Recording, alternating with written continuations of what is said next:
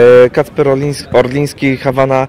E, Kacper, chyba jeszcze są w Tobie te emocje po tym e, spotkaniu, no bo wygrywacie, ale w niesamowitych okolicznościach.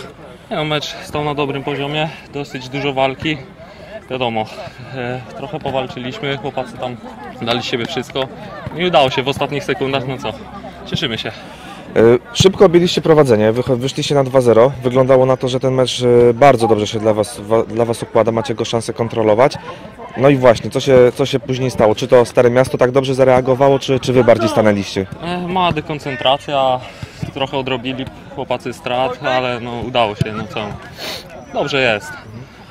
E, Powiedz mi, bo to był taki bratobójczy dla Was pojedynek z racji tego, że, że są chłopacy, którzy grają z Wami e, w Hawanie i chyba też ma taki dodatkowy wydźwięk to Wasze zwycięstwo, bo można powiedzieć, że, że dokładacie taką cegiełkę do tego, żeby to nie Automar jechał na, na mistrzostwa i, i dzięki temu Sylwek, e, Grzesiek Pakulski, Maciek Jaroszewski potem pojechali z Wami po raz kolejny.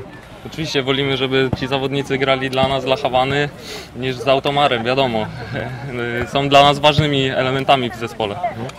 E, To powiedz jeszcze na koniec, e, bo jak przychodziłeś do, do Hawany w zeszłym sezonie tutaj, tak, w, w Football Arenie, e, trochę Ci zajęło czasu na to, żeby się odnaleźć w tej drużynie. Widać, że, ta, że czy na początek ta gra obronna nie do końca tak mm, wyglądała jak, jak być powinna. Jak Ty na to patrzysz, czy, czy czujesz się już w pełni zaklimatyzowany w tej drużynie? Zaklina- Zaklimatyzowany to już jestem, ale z obroną u mnie to jest przeciętnie bardzo. Widać to. Dobra, okej, dziękuję bardzo. Dziękuję.